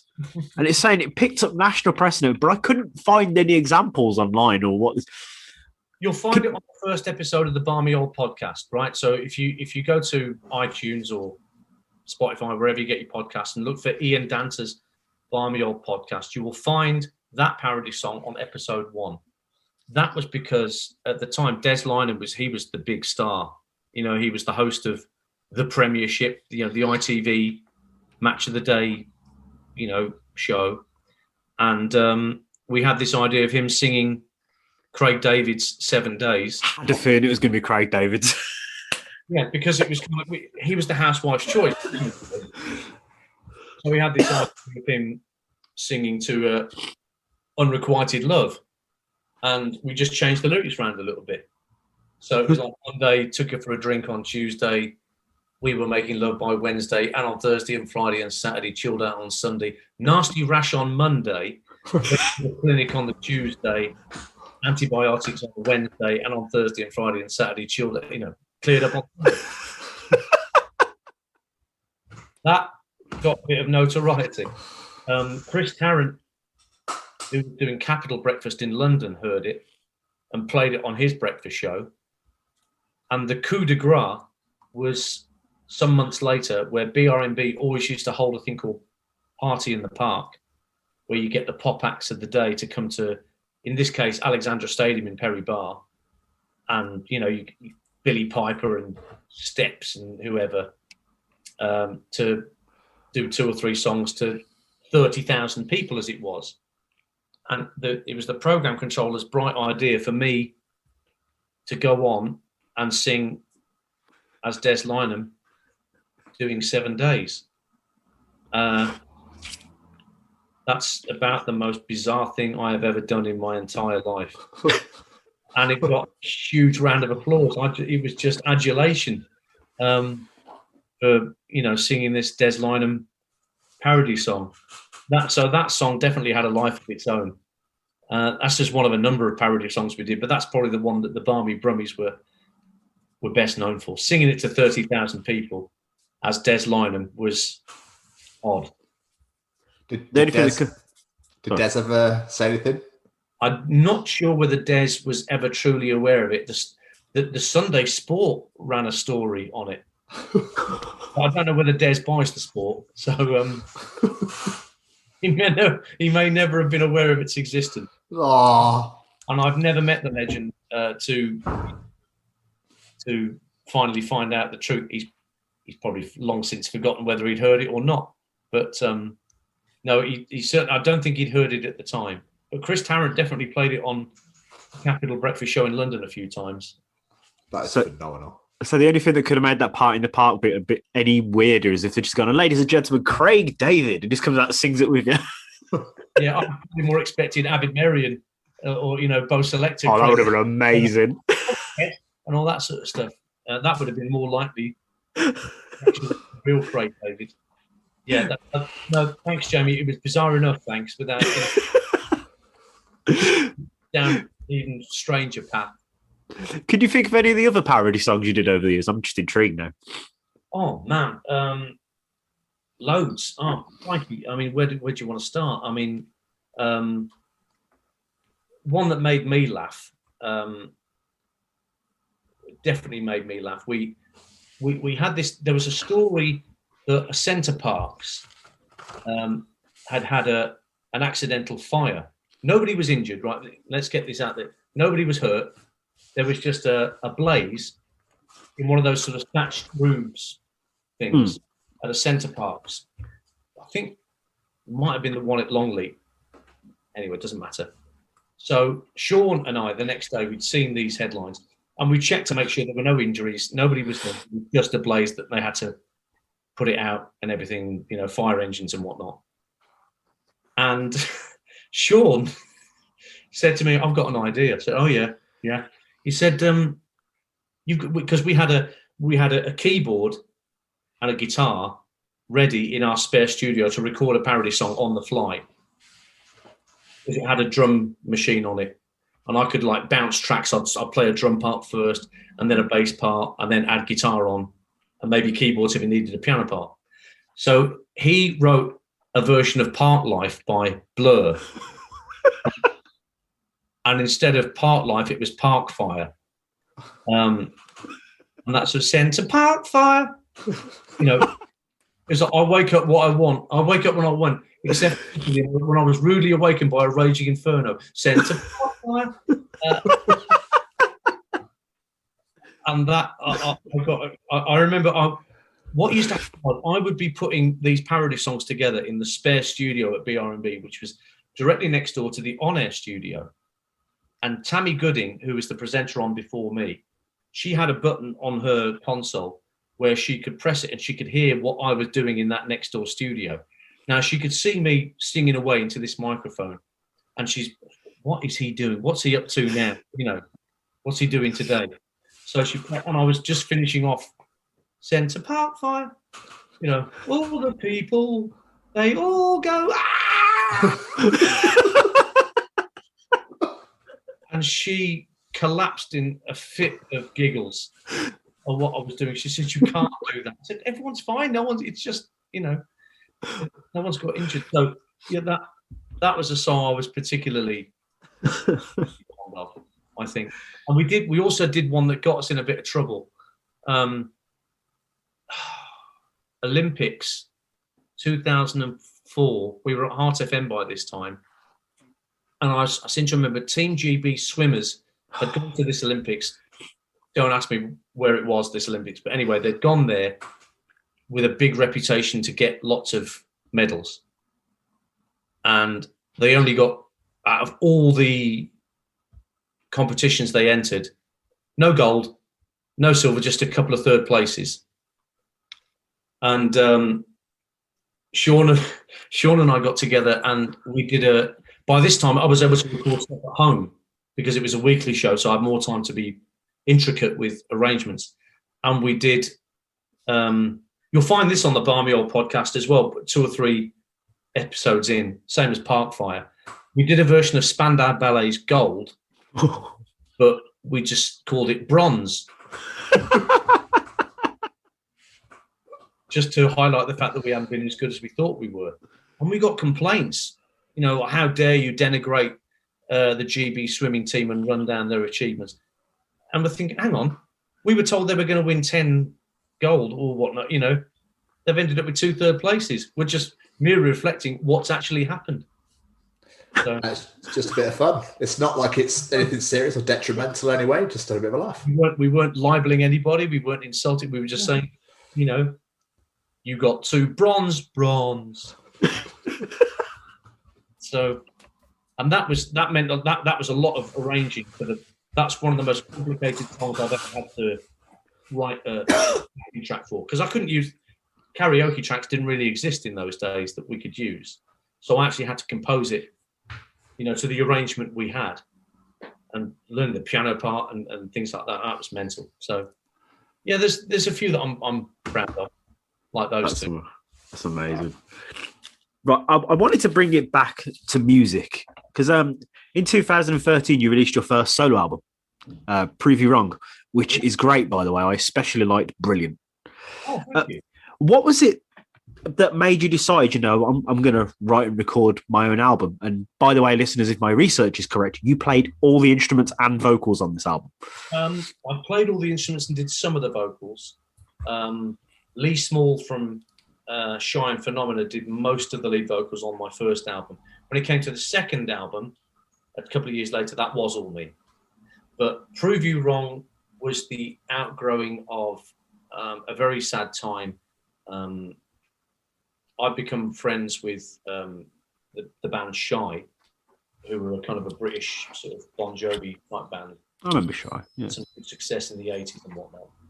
But um, in um, 2011, if I've got my timings right, uh, Steve Harris, the guitar player, passed away, uh, brain tumor. He was able to put uh, Shy's last album together whilst he was his condition was deteriorating, knowing that you know he was on borrowed time and he had to get this album finished.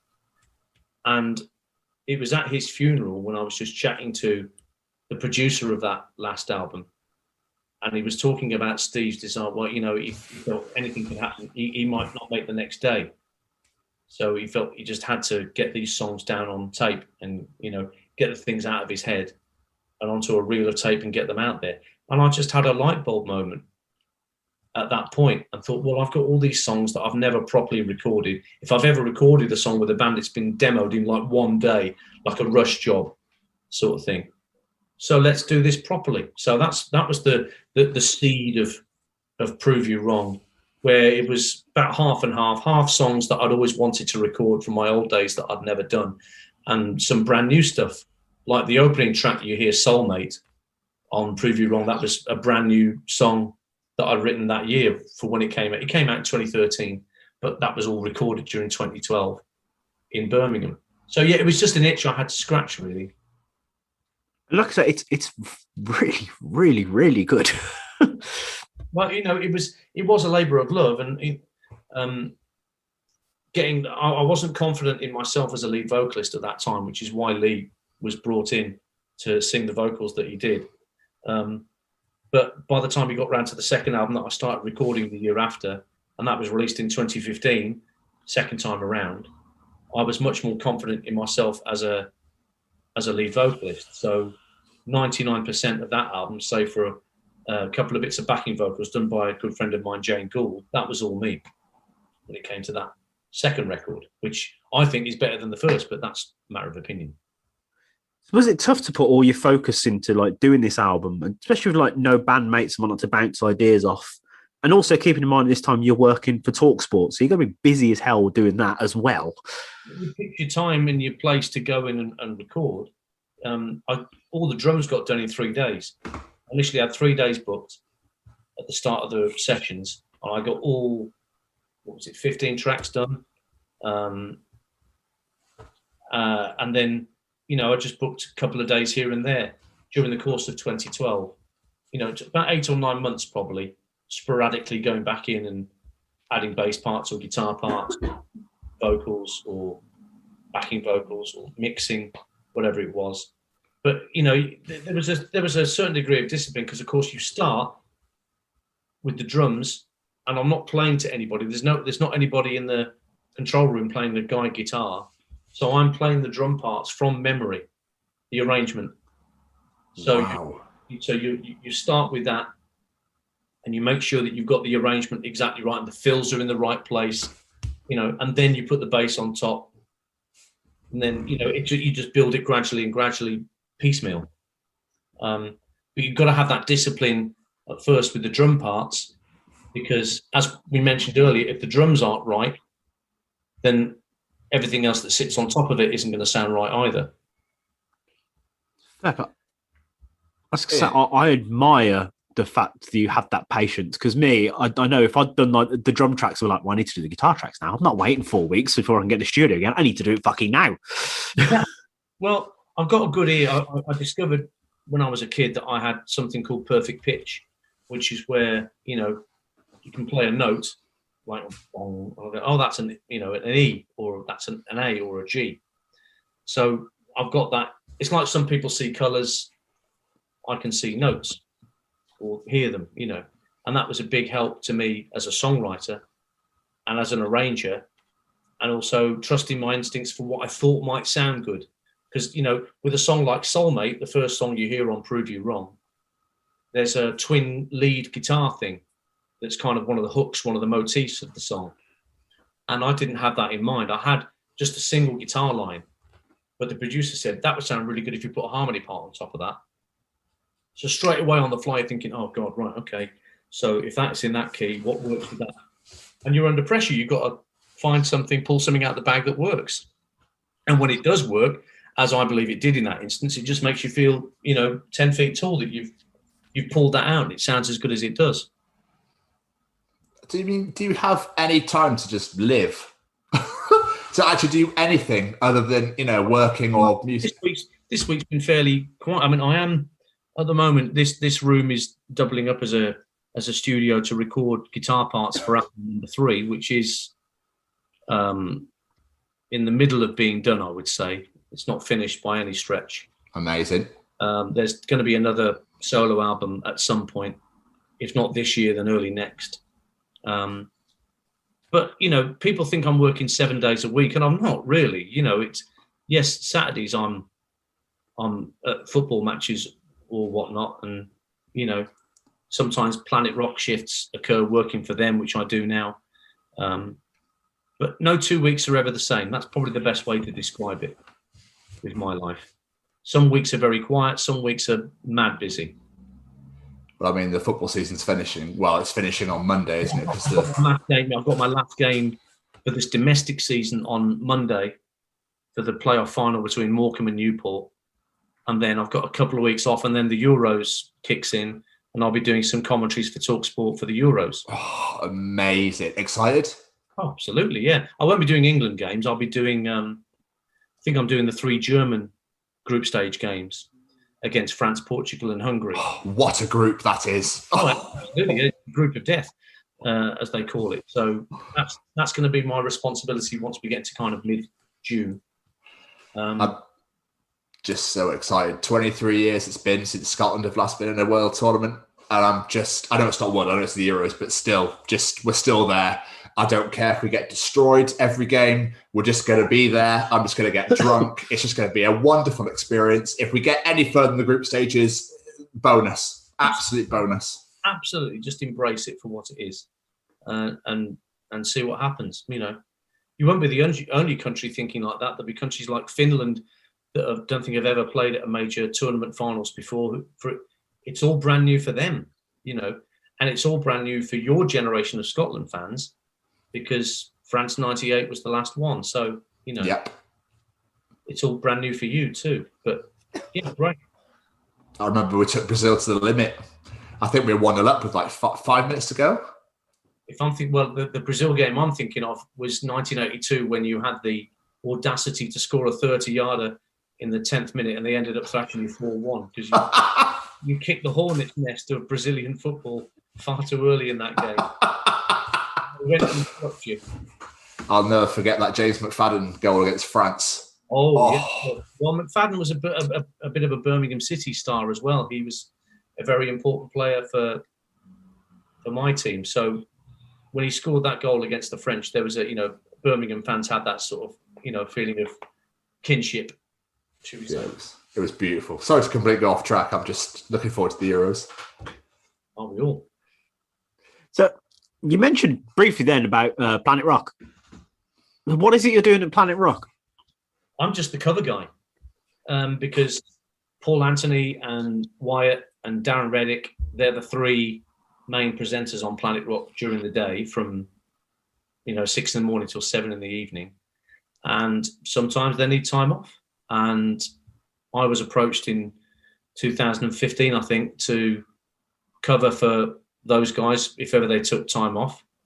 Um, and that's what I do. So next week, I'll be from Tuesday to Friday, I'm looking after Darren's afternoon show between two and seven.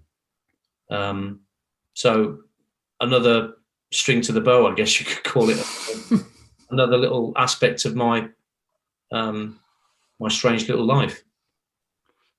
As a music lover, though, that must be ace to do with like a channel like Planet Rock because you just get to listen to your favorite songs all day. It's exactly that. It is exactly that. Uh, and what it also does, as I've mentioned before in other interviews I've done, is how it it opens your mind to other bands that you you know you you haven't really listened to enough of other Hmm. artists uh, who are on the playlist and you get to appreciate just how good they are uh, when you listen to a band like Tom Petty and the Heartbreakers and you hear like Here Comes My Girl and The Waiting uh, and and songs like that I think God this guy was brilliant you know of course sadly lost to us a couple of years back now Tom Petty you know it wasn't just about the stuff he did with Jeff Lynne, like running down a dream or I won't back down. You, the, the, the damn the torpedoes stuff and the early Tom Petty and the Heartbreakers is just brilliant. What a band as well. You know, Mike Campbell, Benmont Tench, Stan Lynch, great band, the Heartbreakers. So that's an education for me that you know every day is a school day, as Wyatt often says, and it is a school day because you'll whether it's an old artist an old song that you haven't heard for years and it suddenly registers with you, or it's a new band that we're playing that sounds wicked, like those damn crows who I'm really into at the moment, who are a brilliant band from Bridgend. Hmm. You still get that frisson of excitement, whether it's an old band or a new band that you're playing. This might sound like a really weird question, but for bands of old, does it ever not I say frustrate might be the wrong word, but like knowing they'll never release anything ever again? Is that not is that because I'm into more I'm into the more modern stuff now. Like I like I can appreciate some older bands and stuff like Guns like I brought up on Guns N' Roses and that sort of thing, but I'm just thinking like because Jamie's quite into like classical rock and stuff as well. Like knowing that bands will never bring out another record again. Does that ever like oh, I wish that you could just do one more? Well, the law of diminishing returns quite often kicks in with, you know, bands that keep keep releasing albums. There's a few exceptions to that. I can think of a band like Cheap Trick who still release new music regularly, and I still love what they do.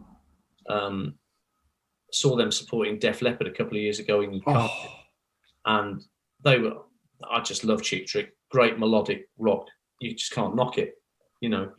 Um, I mean, Kiss have done some relatively recent new albums in the last decade or so. They had Sonic Boom that came out in 2009, I think, and then Monster years later.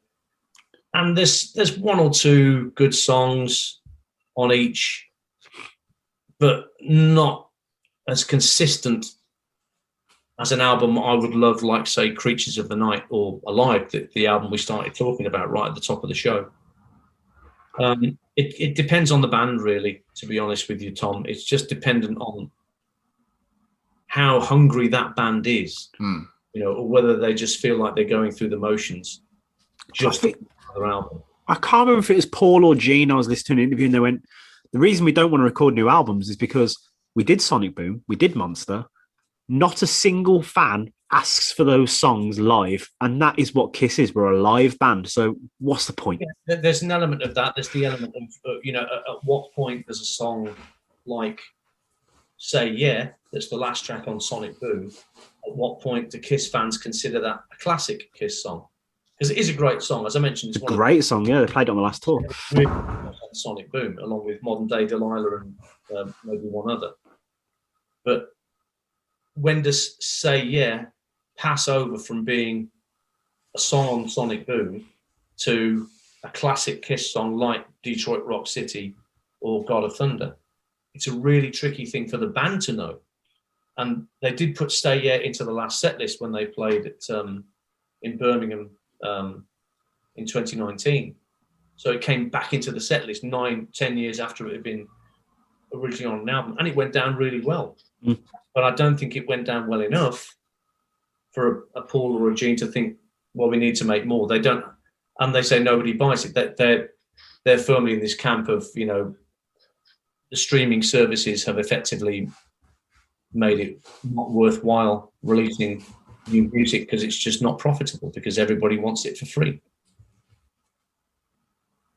And there's a big part of it with a lot of the older bands as well, is because, like you say, it's not what they're used to, the modern music market. So No, the, the industry's completely changed, you know, from the 70s and 80s when it was record companies giving artists advance money to go and record albums, and then that money recouped through album sales and touring and merchandise sales. All bands have got now is merchandise, and even that is being cut by venues who want a they want a, a percentage of merchandise sold under their roof.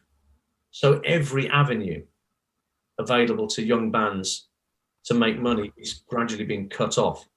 And when Spotify pay 0.00001p per stream of a song,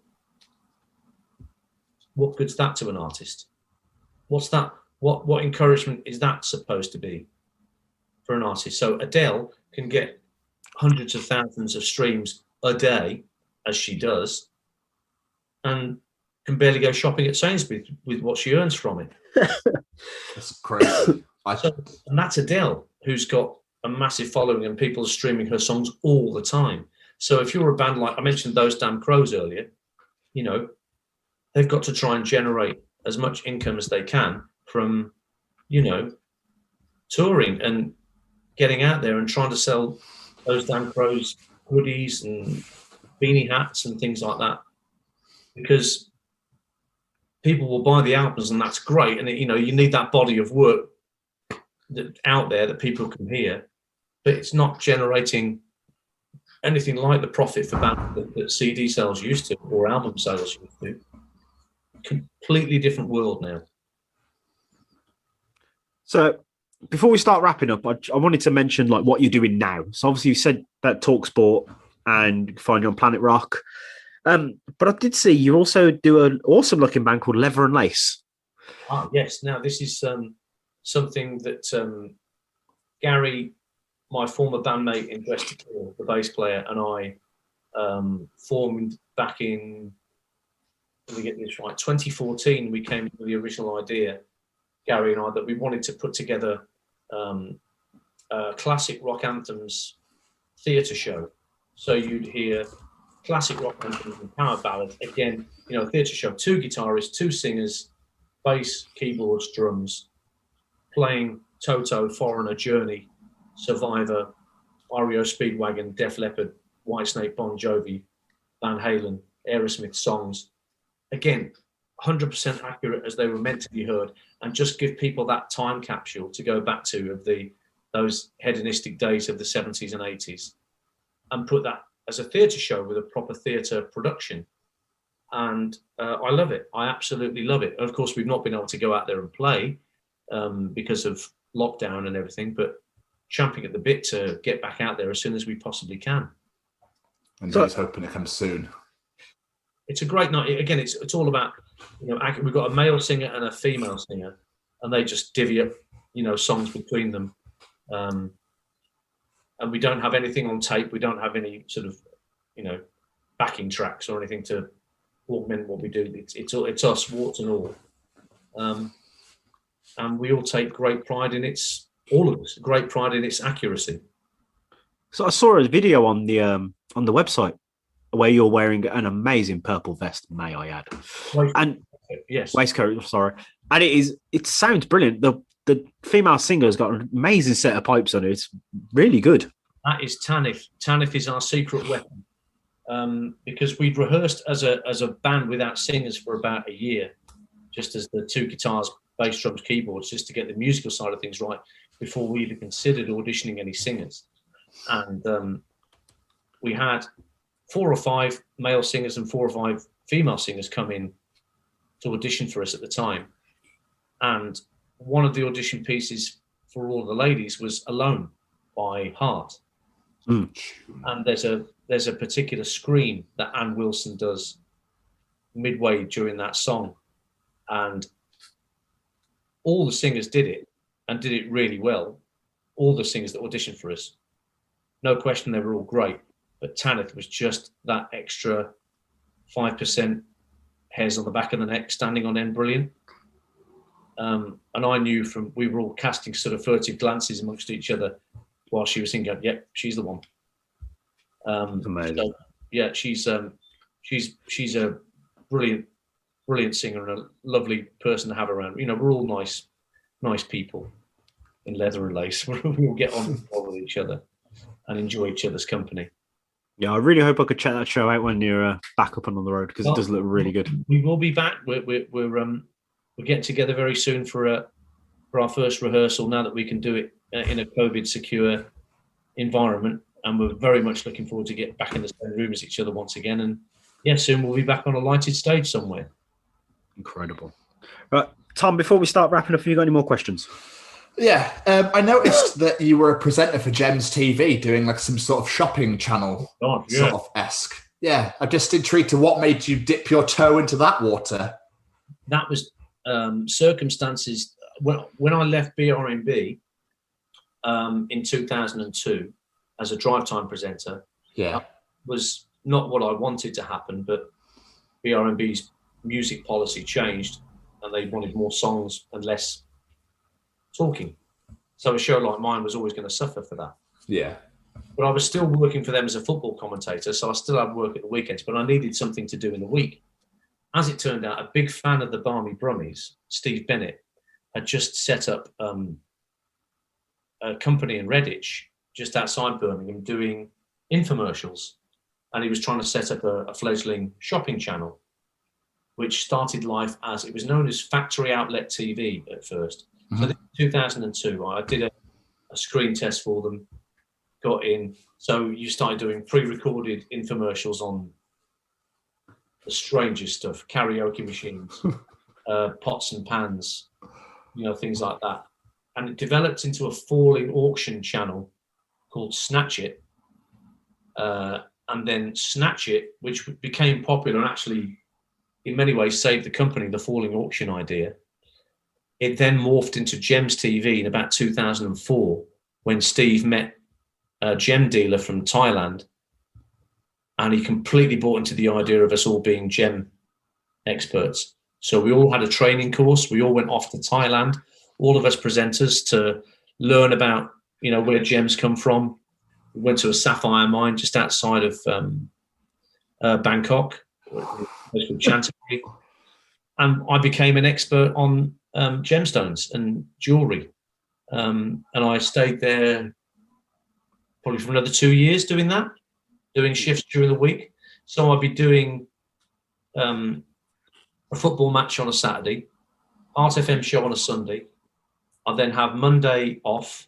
That was my day off, you know, in the week. And then Tuesday, Wednesday, Thursday, typically during the day, I'll be doing shifts at Gems TV, selling pens, necklaces, and rings and all that with sapphires, rubies, emeralds, amethysts, tanzanite, you name it. That's incredible. We're doing all the hand motions ready to be like a hand model at the same time. It's- it's like- Yeah, it, became a bit Bridget Jones, you know. Uh, at any time, to any occasion. we did try and have some fun with it. We were allowed a bit of leeway to be ourselves, you know, and not be stiff upper lip and, you know, with a rod up our ass. You know, we, we were allowed to have a bit of fun with it, which we did. And um, the, the viewers loved it. And it came across to the viewers how much we loved it and they loved it too. And it, Gems TV is still going strong now in 2021. You'll find it on your in the 600 somewhere on your Sky EPG. That's And it's amazing. Still, a lot of the same presenters who I was working with then back in the day are still there, and they're still lovely people. That's awesome. That's awesome. I love, I that. love that. Ian Danter, musician, radio presenter, gem expert. Yeah, don't put it on the business card. I'll, I'll, I'll have to that stays off. Right, so Ian, before we let you go, we like to play a little game with our guests, if that's okay with you. We literally we call it a quick fire round and we just fire five questions at you and you answer them as quick as you can. Okay. So first one, your first ever concert. Kiss 1983 Lick It Up tour at Stafford Bingley Cowshed. Fuck, I'm so jealous right now. Um, supported by Helix and Heavy Petting. And Heavy Petting were the first band on, and after their first song, it was "We Want Kiss." We they had the, the stage set with a tank. Mm. Uh, Eric Eric Carr's drums were set up on the turret and gun of a tank. Vinnie Vincent was in the band. It was the first tour without makeup. They just released it up. What I mean, what a first gig! I'm Uh, so jealous right now. And my mum and dad, me and my two mates, Andy and Tim, they drove us up to Stafford from Solihull to this gig. And mum and dad had booked a table for a meal in somewhere nearby, Uttoxeter or something. And mum had said, meet us back here. We'll, we'll put the car back here when we pick you up. So, of course, they, they get back and find a, the spot where they said they'd meet us. And they can hear the last strains of Black Diamond or something coming out of this Stafford Bingley cowshed. And all of a sudden, the doors open and this sea of denim and leather starts. and she was going, "Where's my son?" You know, because all she could see was these hordes of thousands of, it was like seven thousand people, I think, would have been in that place that night. Um, but yeah, that was uh, Oh. October '83. Kiss, lick it up to her. Thank you very much. It's all downhill from there. Um, what's your favourite pizza topping? Uh, Mighty Meaty. Oh, Good answer. great shout. The best impression you can do, in your opinion? Trevor Francis, the former Birmingham City player and manager, is the one I get thrown at me as being the one that others think are most is most accurate. So I'll probably go with that. And Trevor sort of sounds a bit like this. He comes from Plymouth, and he's got an accent where it sounds like he's got a slightly blocked up nose. Um, so yeah, but is it? He doesn't get me work. Um, you know, not much more perfected a Gary Neville or a Jamie Carragher, but um, you know. I love that. I knew the name, but I couldn't picture it. And as soon as you did that voice, I was like, "Yep, I know exactly who it is now." he's the, he's the one that people to me most. I think oh, who would play you in the movie of your life? James May. I could see it. I could see it. I'm not gonna lie. That's excellent answer. And last but not least, a piece of advice you would give to your younger self. Just believe in yourself, for goodness sake. Um, have a bit of faith in your own abilities. Um, uh, yeah, that's probably what I would have said to myself. I like that. Don't don't give up. Beautiful. I don't think, and I don't think I ever truly gave up on anything. Some things ran their course, but um, yeah, I'd have, I'd have said to myself, just keep going. You never know. Amazing. Ian, this has been absolutely amazing. Thank you so much for doing this for us. An absolute pleasure. Nice to speak to you guys. Uh, before you go, is there any plugs, any websites, social medias, etc.? Well, people can go to my website and, and learn more about me. There's uh, iandanter.co.uk, and you can purchase my two albums on that website as well for um, Prove You Wrong and Second Time Around. Um, yeah, if you want to hear those podcasts, there's like 25, 26 episodes, all half an hour in length, that you'll find on uh, Apple Podcasts or Audio Boom or wherever you get your podcasts. It's called Ian Danter's Barmy Old Podcast. Um, and you know they're free to listen to and whatnot. Um, hopefully, you'll enjoy those. And uh, yeah, look out for Leather and Lace uh, coming to a theatre near you uh, as 2021 becomes 2022. Classic rock anthems and power ballad show. I'll be all over that. I'll be all over that. Yeah. So again, Ian, thank you so much. It's been amazing. Thanks, guys. All the best. Abs- absolute pleasure. You take care and enjoy the rest of your evening. Thank you so much, Ian. Thanks, chaps. Take care, Cheers. sir. Hey there, I'm Frank Guglielmelli, and I'm the narrator for the audio drama feed, featuring such audio dramas as Bounty Hunters, Marty and Mars, Val Toby, and so much more. You can find all of these wonderful programs on Spotify or wherever you listen to podcasts. Or you can go to our website at www.audiodramafeed.com. We are thrilled to be affiliated with the Chronicles of Podcast with Tom and Jamie.